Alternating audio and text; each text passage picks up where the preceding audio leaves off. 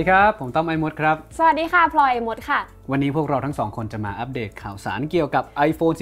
ใช่ค่ะ เป็น iPhone 14 รุ่นใหม่ปีนี้เลยค่ะ14ที่เราได้ติดตามข้อมูลมาตั้งแต่เอาง่ายว่าตั้งแต่ปีตั้ที่งแล้วแต่เนาะใช่ค่ะต้นตั้งปีแต่ด้ปีวยที่แล้วจนถึงต้นปียาวมาจนถึงเดือนนี้เลยค่ะ และปัจจุบันล่าสุดเมื่อเช้าก็มีอัปเดตใหม่ ใช่ค่ะนะครับมีผมข่าวลือใหม่ล่าสุดมาเรื่อย ๆ เลย ครับ มีข่าวลือเกี่ยวกับงานอีเวนต์อะไรบ้างตอนนี้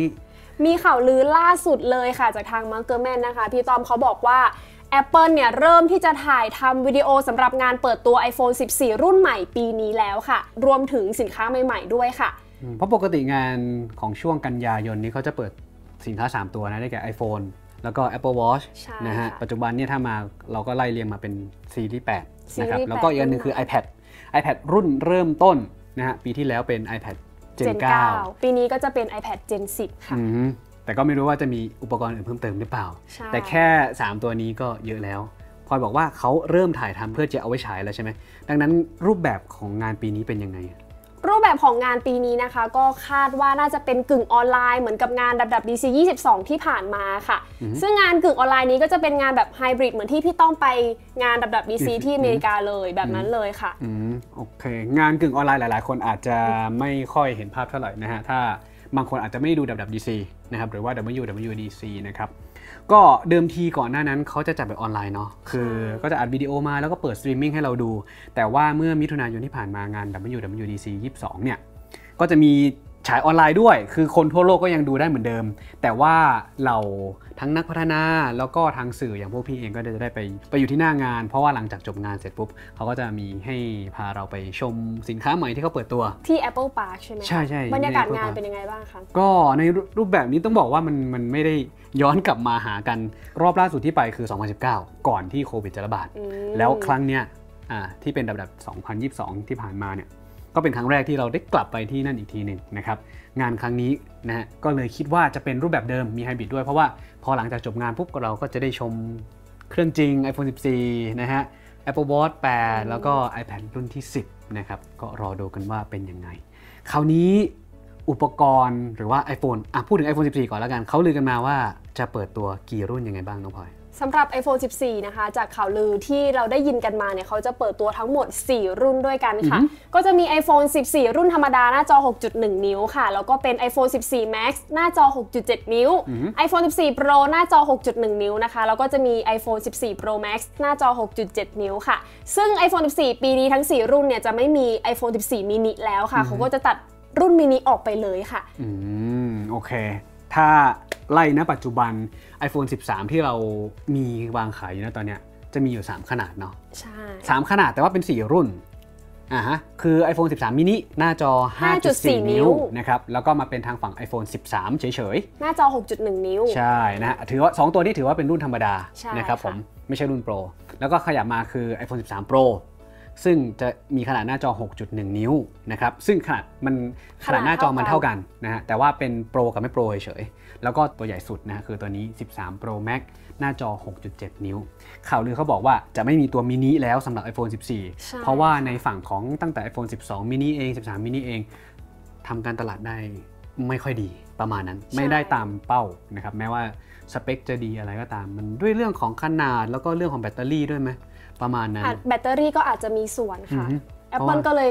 อาจจะออก iPhone 14 Max รุ่นใหม่หน้าจอ 6.7 นิ้วขึ้นมาเนี่ยก็เพื่อตอบโจทย์คนที่อยากใช้หน้าจอใหญ่ แต่ว่าไม่ได้อยากใช้รุ่นโปรหรือว่างบอ่าไม่ถึงก็สามารถเลือกซื้อรุ่นนี้ได้อืค่ะมนะดังนั้นก็แบ่งเป็นสองกลุ่มเนาะใช่แค่แบบว่ากรุ๊ปธรรมดากับกรุ๊ปโปรขนาดเท่ากันหมดเลย 6.1 กับ 6.7 นะฮะมีทั้ง 2 ซีรีส์ แต่ว่าความแตกต่างมันน่าจะมีมากกว่านั้น เรื่องดีไซน์เป็นยังไงบ้างข่าวลือที่รายงานมาสำหรับเรื่องดีไซน์ใน iPhone 14 รุ่นธรรมดานะคะ ก็จะมี iPhone 14 แล้วก็ iPhone 14 Max เนี่ยอืมอืมข่าวลือเขาบอกว่าจะใช้ดีไซน์เหมือนกับ iPhone อะ13 เลยค่ะเหมือนแบบก็จะมีนี้เลยรอยบากเหมือนเดิม หน้าจอ 6.1 นิ้วเหมือนเดิมเลยค่ะหน้าจอก็จะเป็นหน้าจอ OLED เป็นหน้าจอ OLED แต่ว่าในรุ่นธรรมดาเนี่ยจะไม่มีหน้าจอโปรโมชั่นนะคะอืมเพ ราะว่าหน้าจอโปรโมชั่นนะปัจจุบันจะมีเฉพาะ iPhone, iPhone 13 13 Pro Pro กับ Pro Max ใช่ค่ะอ่าฮะความถี่ของหน้าจอโปรโมชั่นเนี่ยจะอยู่ที่ 120เฮิรตซ์นะฮะ แต่ว่าเขาจะเป็นแบบ Adaptive คือจะสามารถรันได้ตั้งแต่ 10เฮิรตซ์ไปจนถึง 120เฮิรตซ์นะครับ ตัว refresh rate แต่พอมาสรุปในทางฝั่งของ iPhone 14 ธรรมดา 14 กับ 14 Max จะใช้หน้าจอแบบเนี้ยเหมือนคล้ายๆกับ 13 ณ ปัจจุบันแล้วกันอืม นะครับเหมือนเอาหน้าจอของ iPhone 13 ณ ปัจจุบันน่ะใช่มาใช้แทนนะฮะรอยบากยังมีเหมือนเดิม กล้องหน้า True Depth ยังมีเหมือนเดิม แต่ว่ามันจะมาแตกต่างกับรุ่น Pro นะฮะ 14 Pro กับ 14 Pro Max ที่เขามีข่าวหรือว่าจะใช้ 6.1 นิ้วเหมือนกัน 6.7 นิ้วเหมือนกัน แต่ว่าหน้าจอจะรองรับโปรโมชั่น แต่โปรโมชั่นรอบนี้ได้ยินมาว่ามันจะเจ๋งกว่าของ 13 Pro Max เพราะว่าความถี่ของเขาจะเริ่มต้นตั้งแต่หนึ่ง1เฮิร์ Hz ตซ์ ไปจนถึง 120 เฮิร์ตซ์ค่ะอืมประโยชน์ก็คือคืออะไรทำไมถึงเขาถึงใช้ตั้งแต่1 Hz ประโยชน์ของการใช้1 Hz ก็คือจะสามารถใช้ฟีเจอร์ always on display หรือว่าหน้าจอติดตลอดได้เหมือนกับ Apple Watch Series 7เนี่ยค่ะ Apple Watch Series 7 นะตอนนี้ก็คือเป็นพวกหน้าจอใช่ always on นะฮะอ่าถึงแม้ว่าเราปิดอย่างเงี้ยมันก็จะไม่ไม่ดับลงทั้งหมด แต่ซีรีส์เก่าๆ ที่ไม่ใช่ always on มันจะดับลงใช่นะครับตัว Hertz ที่มันน้อยเนี่ยที่มันเป็น adaptive frame rate เนี่ยมันจะสามารถแบบ แสดงได้ตลอดเวลาแล้วก็กินไฟน้อยนะครับเขาก็เลยเลือกใช้ตัวนี้นะฮะนอกจาก refresh rate 1ถึง120 Hz แล้วดีไซน์มันยังมีกล้องเรื่องของกล้องเป็นยังไงบ้างน้องพลอย เปลี่ยนดีไซน์ใหม่เลยค่ะอะ ตัดรอยบากออกไป แล้วก็เปลี่ยนไปใช้รูบนหน้าจอแทนข่าวลือบอกอะว่าจะมีรูวงกลมกับรูแคปซูลค่ะพี่ต้อมอ๋อเขาเขาบอกว่าจะทำให้ iPhone ของเราเนี่ยแสดงผลได้มีพื้นที่เพิ่มมากขึ้นนั่นเองค่ะอืมเพราะว่ารอยบากที่เราเห็นอยู่บริเวณโซนนี้ คือจะเป็นแบบนี้เนาะปุ๊บเหมือนคนตัดผมเลยไอนะโฟน12 นี่คือใหญ่กว่านี้อีกนะคะอ่า13 คือเล็กลงแล้วประมาณใช่30%แต่ว่า 14 ในรุ่นซีรีส์ Pro Pro กับจะ Pro Max อืมจะเป็นคใช่ล้ายๆตัวเป็นแบบเมคแคปซูลแล้วเมก็คแคมีปซูกลแล้วลก็มมีรูกลมๆใช่ๆถ้าเรามองแนวตั้งอะมันจะเป็นรูปตัว i อ่าบางคนก็จะมองว่าอ้าวนี่ไงพี่มา iPhone เอาตัว i ของ iPhone มาใส่ตรงนี้เหรออะไรเงี้ยอ่าก็ดูว่า 14 Pro เขาจะใช้ลักษณะนี้หรือเปล่า แต่นี่คือข่าวลือที่เราสรุปมาให้นะครับ เพื่อที่จะเห็นความแตกต่างด้วยอ่าฮะแล้วพลิกมาสมมุติแล้วกันสมมุติว่าเนี่ยพลิกมาด้านหลังเราก็จะเห็นตัวกล้อง ตัวกล้องเขามีข่าวลือยังไงบ้างเกี่ยวกับเรื่องของดีไซน์ของ iPhone 14สำหรับ iPhone 14 ในรุ่น Pro กับ Pro Max นะคะข่าวลือบอกว่าเขาจะอัปเกรดกล้องหลังที่เป็นกล้องหลักเนี่ยก็จะเป็นเลนส์วายนะคะอัปเกรดไปเป็น48 ล้านพิกเซลเลย จากเดิมที่ Apple ใช้มาตั้งแต่ iPhone 6s ก็คือ 12 ล้านพิกเซลค่ะ12พิกเซลก็คือข่าวลือบอกว่าเขาจะอัปเกรดไปเป็น 48 ล้านพิกเซลเลย นั่นคือเรื่องของความละเอียด ใช่ เรื่องของใช่ไหมความละเอียดของตัวกล้อง แล้วตัวเลนส์เนี่ยพี่ได้ข่าวมาว่า เขาจะมีเลนส์ที่ใหญ่ขึ้นแล้วก็นูนขึ้นใช่ถูกไหม เออถ้าเทียบกับ 13 เนี่ย 13 ซีรีส์นะตอนนี้เราก็รู้สึกว่าเฮ้ยมันมันใหญ่นูนแล้วนะมันใหญ่มันนูนขึ้นมาอีก iPhone แล้วนะ14 ก็อาจจะนูนขึ้นไปอีกค่ะอ่าประเตรียมาณมเลนั้นยเตรียมซื้อเคสนะฮะป้องกันได้เลยค่ะ สรุปเรื่องของกล้องก่อน ถ้าเป็นรุ่น 14 ธรรมดากล้องจะมีทั้งหมดกี่ตัวสำหรับรุ่น 14 ธรรมดากล้องก็จะมีสองตัวตัวนะฮะเหมือนกับ iPhone 13 13ซีรีส์ความละเอียด 12 ล้านพิกเซลค่ะ แต่ว่าข่าวลือบอกว่า iPhone 14 Pro เนี่ยก็จะอัปเกรดไปเป็น 48 ล้านพิกเซลอือฮึในกล้องหลังเลนส์3ตัวอ่ากล้องหลัง 3 ตัวเท่ากัน ใช่ค่ะนะครับผมแต่ความละเอียดเพิ่มเป็น 48 ล้านพิกเซล ใช่ค่ะ แล้วก็พื้นที่พื้นที่ตรงกล้องหลังเนี่ยก็อาจจะใหญ่ขึ้นด้วย เพราะว่าเขาอัปเกรดไปเป็นเลนส์ที่เพิ่มมากขึ้นนั่นเองอืมก็นอกจากรุ่นโปรที่มันมีตัว 3 เลนส์แล้วมันก็จะมีตัวฝั่งของ LiDAR sensor ที่ใช่มีมาให้ เอาไว้จับระยะประมาณนี้ครับอืมส่วน เรื่องของคุณภาพที่เขาบอกว่าอืม48 ล้านพิกเซลแล้วดีขึ้นยังไง เขาบอกว่ามันอาจจะสามารถถ่ายวิดีโอได้ความละเอียดสูงสุดถึง 8K 8K เลยนะค่ะฮะ 8K นะครับ เพราะว่าตัวนี้เนี่ยก็ถ่ายวิดีโอได้สูงสุด 4K 60 เฟรมต่อวินาทีที่เป็น HDR10 ด้วย ค่าสี10 บิต อ่า มันก็เลยทำให้ถ่ายมาได้แบบ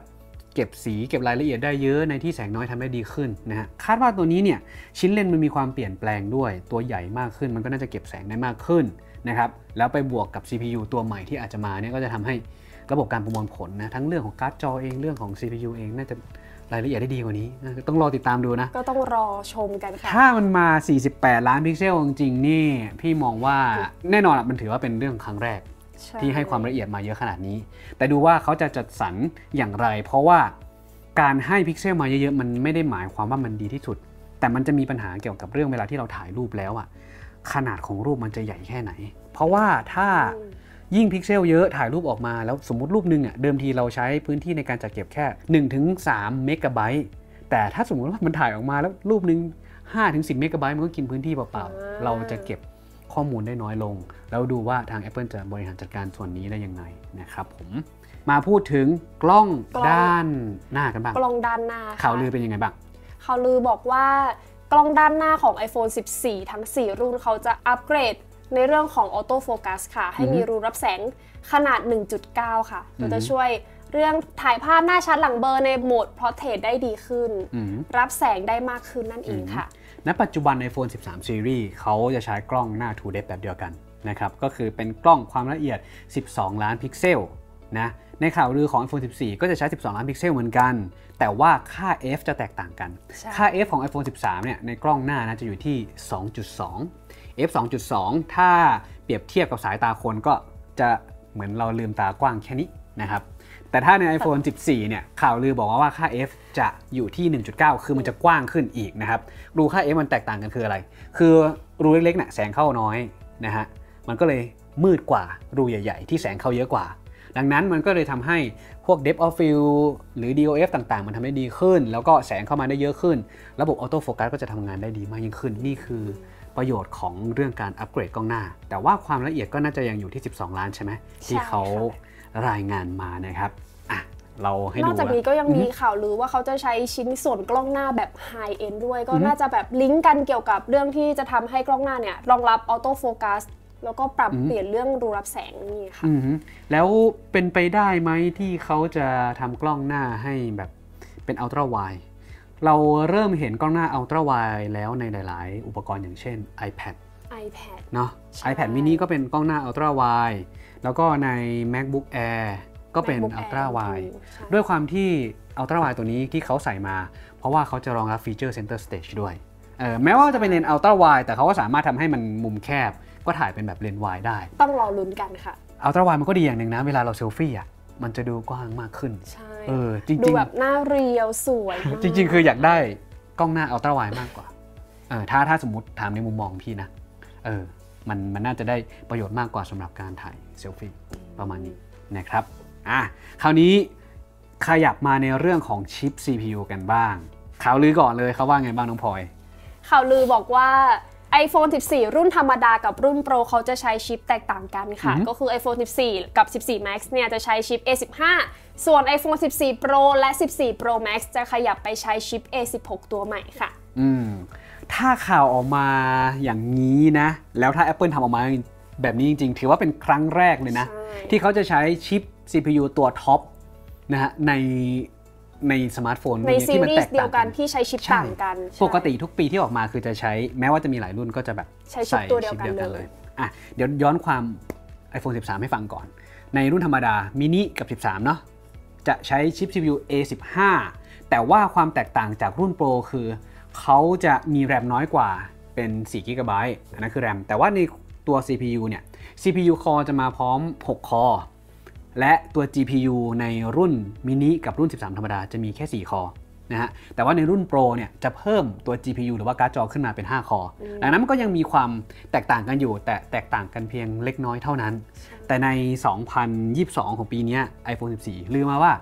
กรุ๊ปของรุ่นธรรมดาเนี่ยจะใช้ A15 A15 ไปเลย ซึ่งเหมือนกับตัวนี้ใช่อยู่อะก็ยังคงไว้เพียงเท่านี้คงไว้อยู่ แต่ในรุ่น Pro เพื่อสร้างความแตกต่างขึ้นมาอีก ว่าเป็นโปรจริงเป็นโปรจริง ๆ นะ ก็เลยอัปเกรดไปใช้ชิป A16 เลยค่ะๆนะเพราะปกติมันก็จะอัปเดตในทุก ๆ ปีเนี่ยจะมีการขึ้นมา 1 สเต็ปอยู่ละใช่นะครับก็รอดูว่า Apple จะทำอย่างนี้หรือเปล่านะครับ เพื่อให้สมกับความเป็นโปรจริง ๆสำหรับ iPhone นะฮะซีรีส์ Pro แล้วทำไม Apple เขาถึงคิดที่จะอัปเกรด iPhone 14 Pro ให้ไปเป็นชิปตัวใหม่นะคะ พี่ต้อมทำไมเขาไม่ใช้ชิปเดียวกันหมดเลยล่ะ เพราะอย่างจริง ๆ พี่บอกแล้วว่าทุกๆ ครั้งที่มีการเปิดตัว iPhone รุ่นเรือธงเนี่ยรุ่นท็อปเนี่ยมันจะต้องมีการอัปเกรดเรื่อง CPU performance เสมออืมอันนี้คือเป็นสิ่งที่ Apple ทำให้มันดีขึ้น แม้ว่าจะเป็นรูปลักษณ์หน้าตาเหมือนเดิม แต่ฟีเจอร์ต่างๆ มันเพิ่มขึ้นในแง่ของเรื่องของประสิทธิภาพการประมวลผล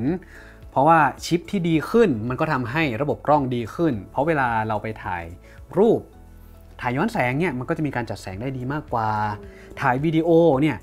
ถึงแม้ว่ากล้องขนาดเท่ากัน 12 ล้านเท่ากัน แต่ในรุ่นหนึ่งมันบริหารจัดการเรื่องวิดีโอได้ดีกว่านี่ฮะงั้นอันนี้มันเป็นผลจาก CPU ล้วนๆเลยนะ ถ้าไม่มีการอัปเกรดเรื่อง CPU เนี่ย มันจะทำให้เราย่ำอยู่ที่เดิมนะฮะ ดังนั้นเมื่อเนี่ยในรุ่นของตัวเนี้ยเขาก็จะมองว่า เอ้ย บางคนจะซื้อ 13 ธรรมดากับ 13 Pro มันแทบไม่ได้แตกต่างกันเลย ถ้ามองจากภายนอกคือเรื่องกล้อง CPU ใช้เหมือนกันหมดเลย เออแรมห่างกันนิดเดียว หลายๆ คนก็เลยคิดว่า แล้วฉันจะอัปเกรดไปเป็นโปรทำไม หรือว่านี่อาจจะเป็นเหตุผลที่ Apple เขาเปลี่ยนเพื่อให้มันฉี iPhone กไง14 Series ออกเลย แยกอ่าระหว่างรุ่นธรรมดากับรุ่นโปร ใช่ใช่ใช่พี่พี่อืมถ้าเป็นถามพี่นะ พี่คิดว่าจะเป็นแบบนี้มากกว่า ถ้าเขา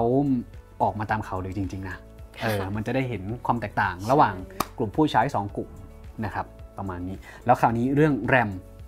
นอกจากนี้เขาลือมาว่าแรมนั้นจะให้มาเท่าไหร่นะ iPhone 14 ทั้ง 4 รุ่นเลยเขาจะให้แรมมาทั้งหมด6กิกะไบต์ค่ะ เท่ากันทุกรุ่นเลย เท่ากันทุกรุ่นเลย เพิ่มมา2กิกะไบต์จากเดิมที่ iPhone 13 เนี่ยใช้แรม4กิกะไบต์ค่ะอืมอืมฮึเท้าความอย่างที่น้องพลอยบอกไปว่า iPhone 13 ณ ปัจจุบันเนี่ยรุ่นมินิกับ 13 ธรรมดา มีแรม4 g b แต่ว่าซีรีส์ Pro นะฮะ iPhone 13 Pro 13 Pro Max มีแรม6 g b ใช่นะครับ ทั้ง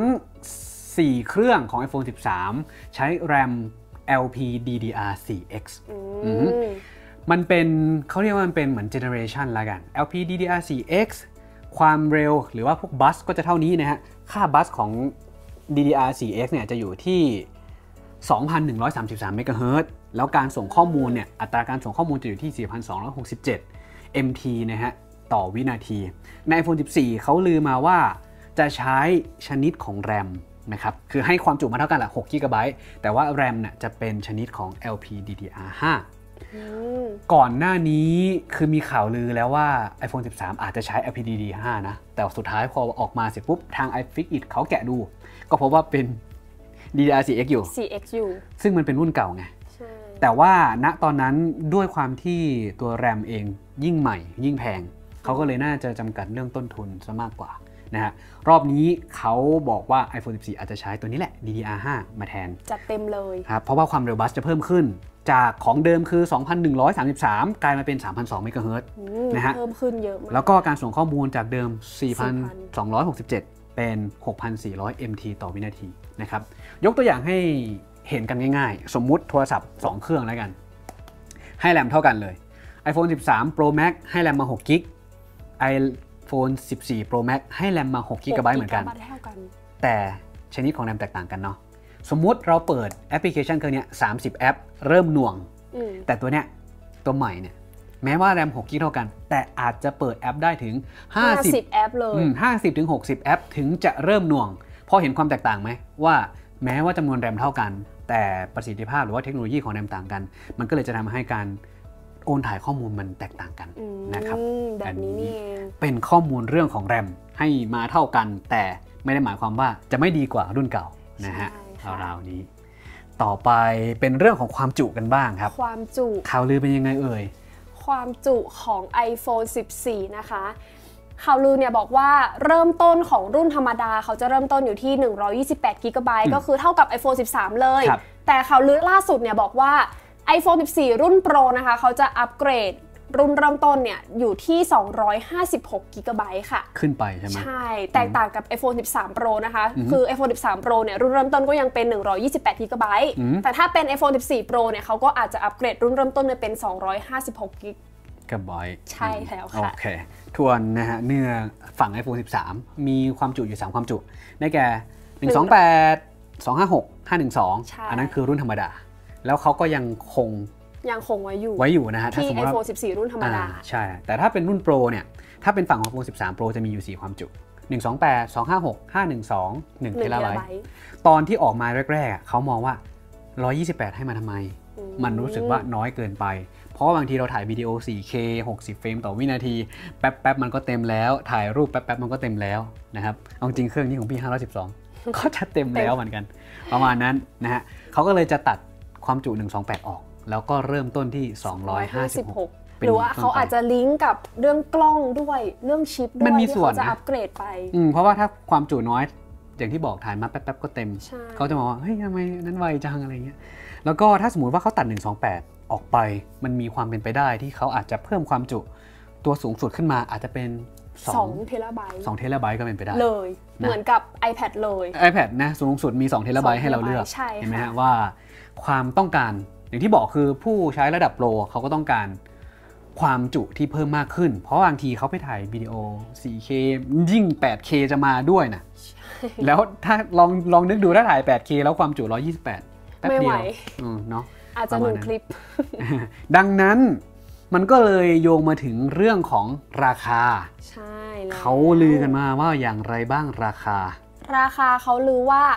อาจจะสูงขึ้นใน iPhone 14 รุ่น Pro ค่ะที่เราทราบกันอืมแต่ถ้าเป็น iPhone 14 รุ่นธรรมดาเนี่ย ราคาเริ่มต้นก็อาจจะเท่ากันนะคะ อยู่ที่ 799 ดอลลาร์หรือประมาณ 29,900สำหรับ iPhone 13 รุ่นเริ่มต้นนะคะ ซึ่ง iPhone 14 รุ่นธรรมดาเนี่ยก็รู้ว่าราคาอาจจะเท่ากับ iPhone 13 แต่ถ้าเป็น iPhone 14 Pro เนี่ยราคาก็อาจจะอัปเกรดขึ้นไปอีกประมาณ 5-10%เลยค่ะด้วยความที่เขาจะมาเริ่มต้นความจุที่ 256 ดังนั้นเนี่ยถ้าเราลองวิเคราะห์ iPhone 13 Pro ความจุ 256 เนี่ยราคาตอนนี้มันอยู่ที่ 42,900 นะในรุ่น Pro Max เองเนี่ย256 g b จะเริ่มต้นที่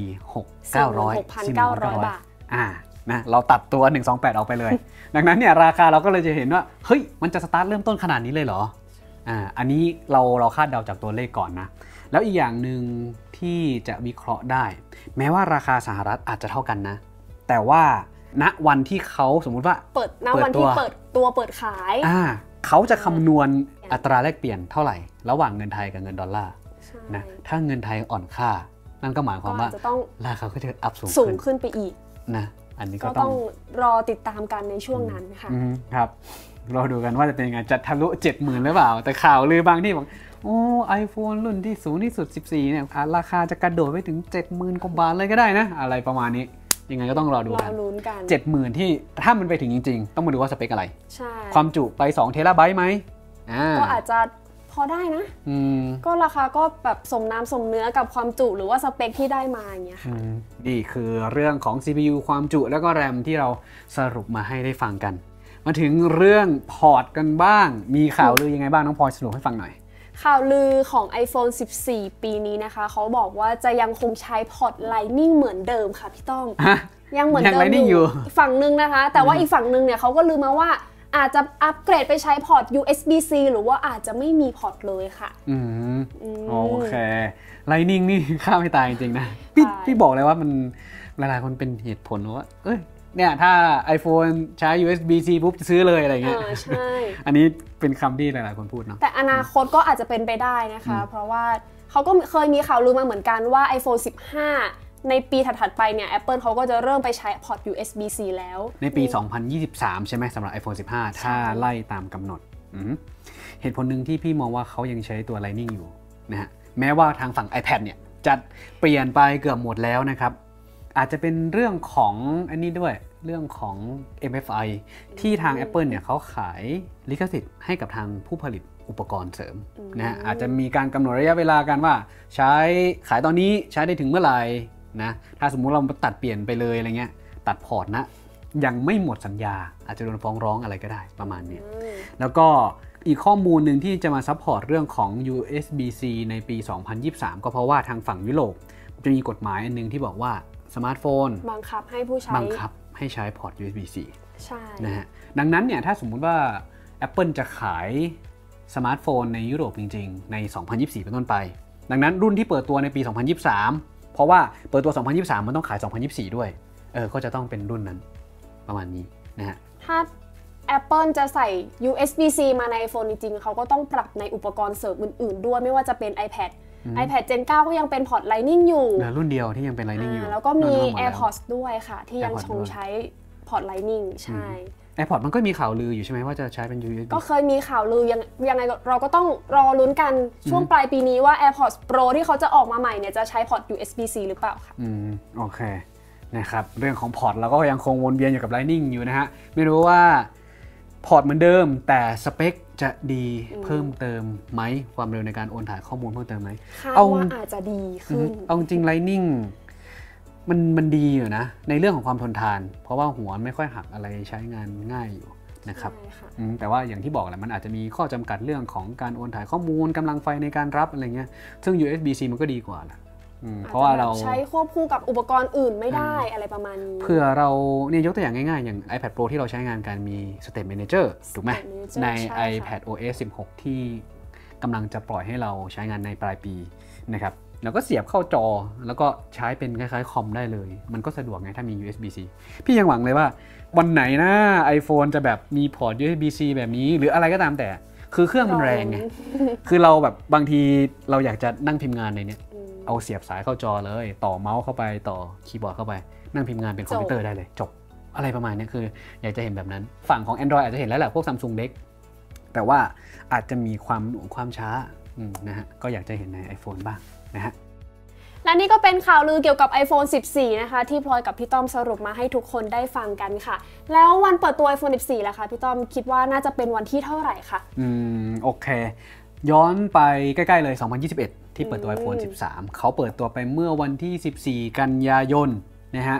ตามเวลาท้องถิ่นที่สหรัฐนะ ถ้าตรงกับประเทศไทยก็ย่างเข้าวันที่ใช่15 นะครับ แล้วมันตรงกับวันอังคาร เพราะปกติอีเวนต์อะไรต่างๆ Apple จะมักจะจัดวันอังคาร ดังนั้นถ้ามากันยายนของปีเนี้ยถ้าเราไล่ดูตามปฏิทินละน่าจะวันเวลาที่เหมาะสมน่าจะเป็นช่วง 13 หรือไม่ก็วัน13 กันยายน